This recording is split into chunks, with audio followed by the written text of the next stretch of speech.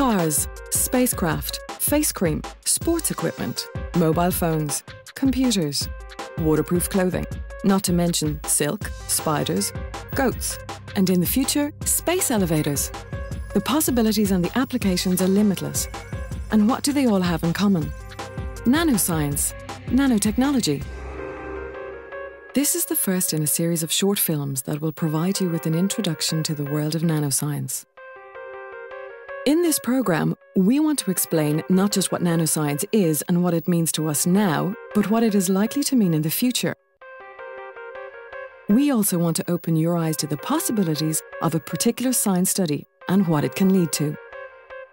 Now let's hear from some experts in the nano world.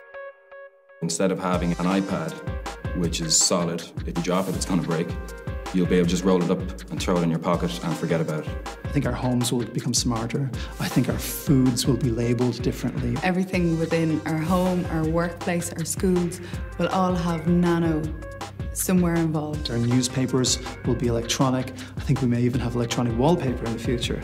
You know, I think our homes will talk to us. This, a few years ago, would have been science fiction. But now, this is going to be science fact in less than 10 years. It's basically the science of the small, and that's needed for most products that we make these days. Imagine a meter. Now make it smaller by a million. Then if you just squeeze that down again, you have a micron. Now make it smaller again. And eventually you arrive at a nanometer. A nanometer is effectively a billionth of a meter. One human hair is 80,000 nanometers wide. You line up five atoms in a row or so when you have uh, a nanometer. Football is about 100 million times smaller than the planet Earth. Things at the nanoscale are 100 million times smaller than a football.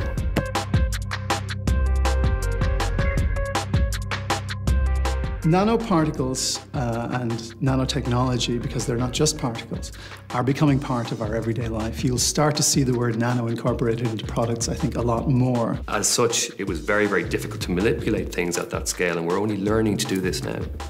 If you look at Irish exports, fully 10% of Irish exports are actually nano-enabled. Well, nanotechnology is very important to the economy in Ireland. We've got a number of companies such as Intel and Leixlip or Hewlett Packard and Leixlip and many others that their core business is uh, developing technologies that will go into products that require nano.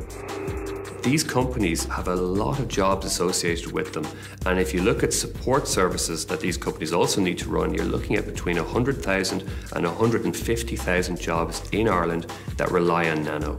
We're confident that working with these corporations, we can begin to help them to become more ambitious to grow the operation in Ireland, and that'll do two things. It'll it'll create jobs in the R&D space for Irish researchers, but it'll also, quite importantly, consolidate the existing manufacturing jobs. Well, nanotechnology has already been used in a lot of our products. It's used in our sunscreens and our beauty products. Of course, sports equipment, carbon reinforced bikes, golf clubs, computers, and your iPod and your telephone. I've got an iPhone in my pocket. I'm addicted to the thing, but it couldn't work without nanoscience. It's used in our clothing industry to make our clothes waterproof. It's basically everywhere. There are great opportunities to, to make use of the way that the, the way things do behave down there and uh, make use of them right up here in the in, in big world. Well, I suppose everything down at the nanoscale is completely different. Uh, the physics, the chemistry, the even related to the biology is just completely different. As you shrink things down smaller, we find more and more interesting effects every single day. All the workings have to be compressed into this tiny little space, and that can only be done through nanotechnology. With nanotechnology, we're trying to exploit those properties to do something useful, to do something that wasn't possible before. ICT and the, the, microprocessor. There's more and more nanotechnology involved in building a, a, Pentium chip, for example.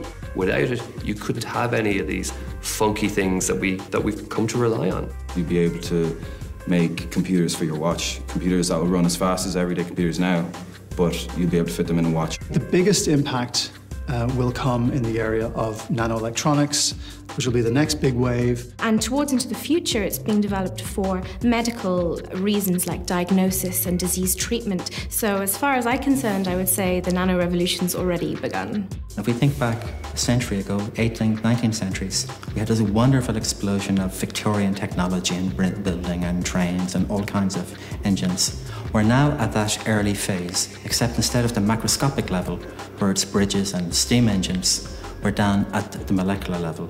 We'll have new technologies which we can barely imagine. We know nanotechnology will revolutionise our lives over the next 20 years, but only if enough people decide to become part of this fascinating technology and join what really will be a revolution. Science and technology is, is everywhere.